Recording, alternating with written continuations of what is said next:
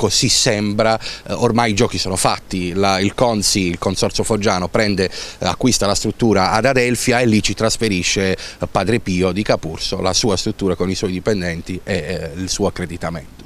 Beh, la struttura di Adelfia che io ho lasciato nell'agosto del 2012 non ha più le autorizzazioni, è cambiata la legge sulle autorizzazioni delle case di riposo, adesso è passato nell'ambito regionale e quella struttura per essere riattivata è necessario prima chiedere un parere di compatibilità e poi chiedere l'autorizzazione, per cui è un contenitore possono fare, comprare, affittare, bontà loro.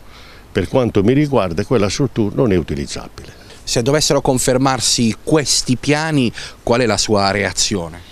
Beh, se c'è un disegno per mh, trasferire eh, la mia attività ad altri soggetti, amici, compiacenti eh, che hanno già manifestato l'intenzione io mi cautelerò con, eh, attraverso i miei legali se eh, rileverò che ci sono gli estremi per adire e per denunziare. Intanto c'è il bando pubblico, la delibera è di ieri e questo l'ha fatto saltare sulla sedia.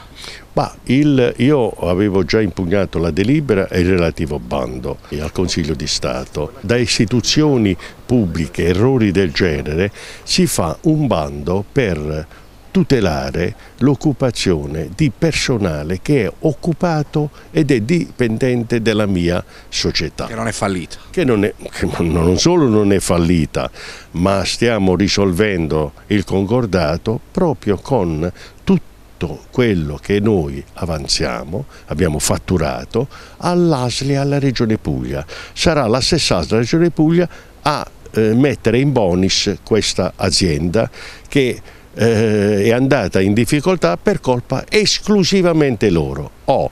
Detto questo, nel bando abbiamo letto dei nomi e dei cognomi dei suoi dipendenti.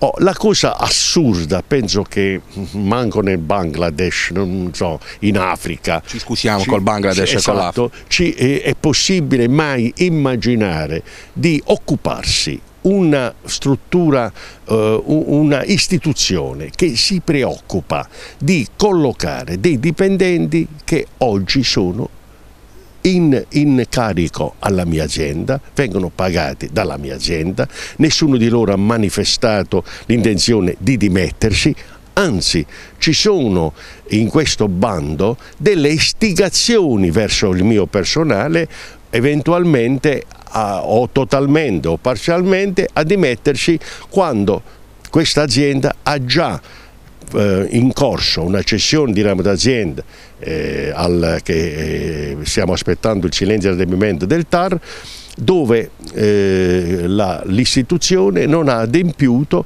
perché se avesse adempiuto questo personale sarebbe stato in carica ad una società che le avrebbe, aveva, le avrebbe pagati, che non avrebbe alcun problemi di liquidità, nessun problema di difficoltà. Tra l'altro in questo bando ci sono dei nomi che non sono più vostri dipendenti e alcuni che sono adesso a lavoro non sono inclusi in quel bando. Oh, io non so e non conosco mm, e non ipotizzo la reazione che possono avere alcuni dei miei dipendenti vedersi inseriti in un bando quando loro non hanno manifestato alcuna intenzione di dimettersi né gli è stato garantito o assicurato la possibilità un domani di poter lavorare presso altre aziende.